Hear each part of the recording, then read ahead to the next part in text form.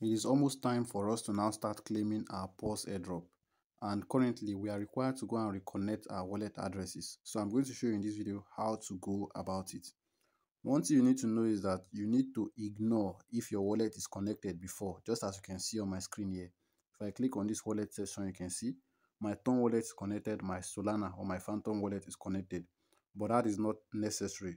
We need to connect it on the website. Look at this visit website button.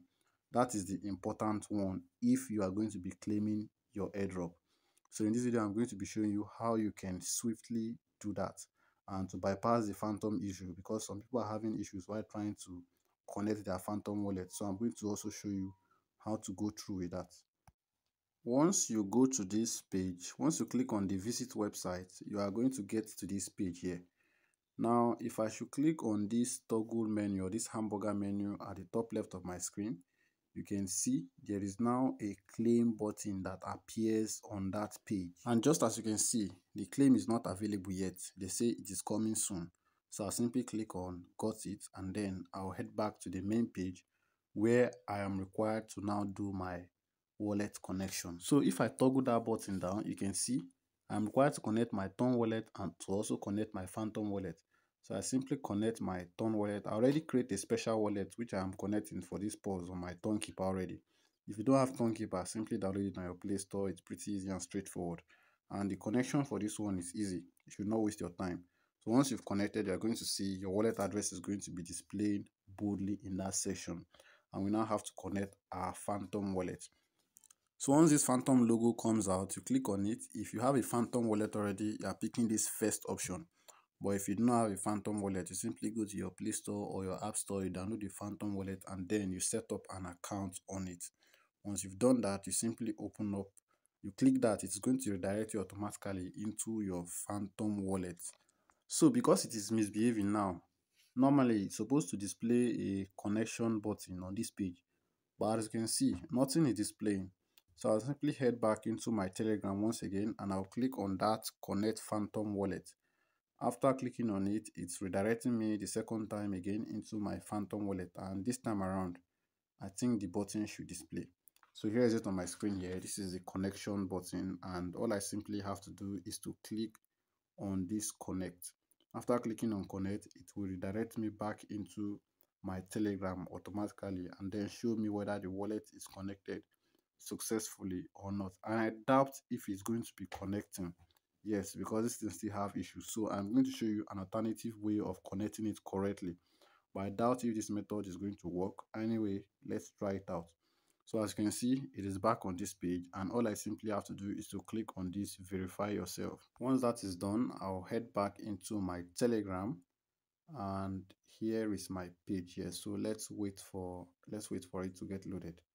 As you can see, they say my account is verified and I have the option of staying in Telegram or I continue the website.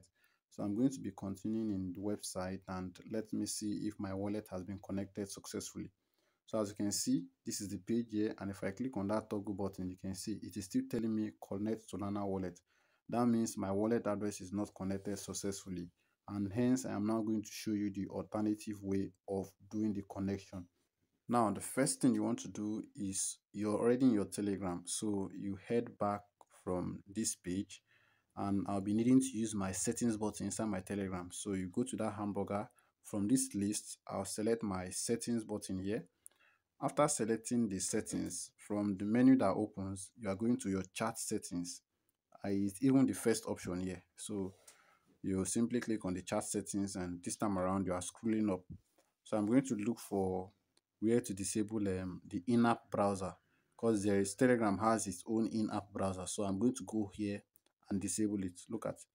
Note, once you are done with this step, you still come back here and enable it again. But for now, disable it. Once you disable it, I'll now head back into my list of airdrops and then I'm looking for Paws right now.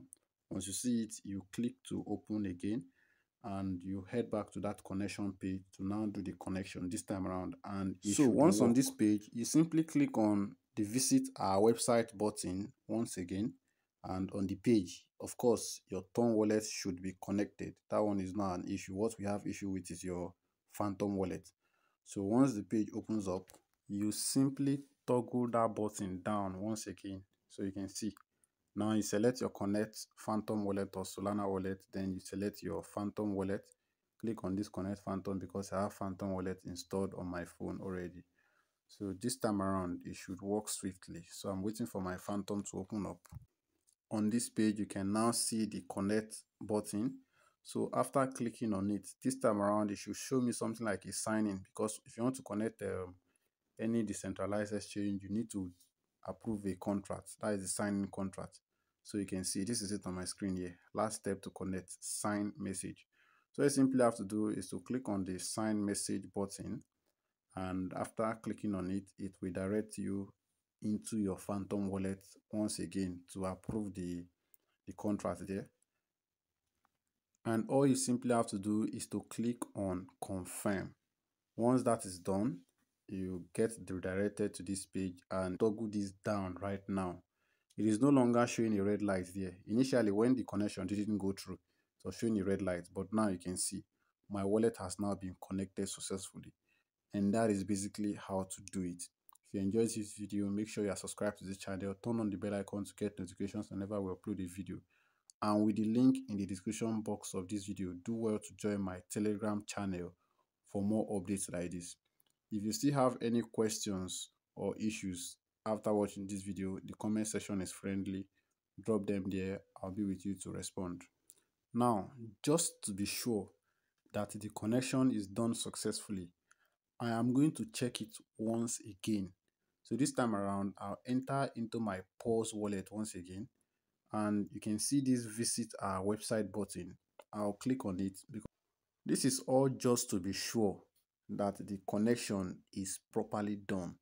So once the page opens up you look at your screen. And yes i think this one work because if you can look at the toggle button it is no longer showing red light. So as i go down you can see my two addresses are now connected my Ton wallet address and my phantom wallet.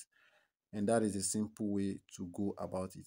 So using this claim button once again i go to claim and as you can see the claim is not yet available.